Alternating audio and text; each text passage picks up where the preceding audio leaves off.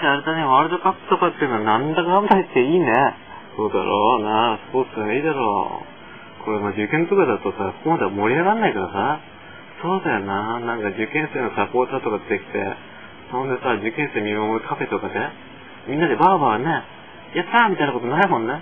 そうだろう、やっぱね、これさ、やっぱね、スポーツがいいよね、やっぱね、いいよね。そうだよね、スポーツはいいよね、う。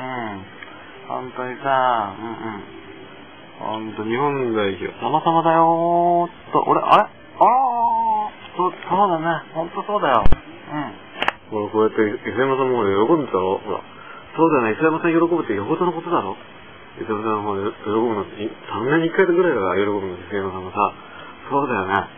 本当にさ、磯山さんにもほら、こうやって元気与えてくれて、そうだよ、本当にもうね。様々だよ。そうだよな。本当だよ。うん。そうだよな。磯山さんが喜ぶなんて3年に1回ぐらいだもんな。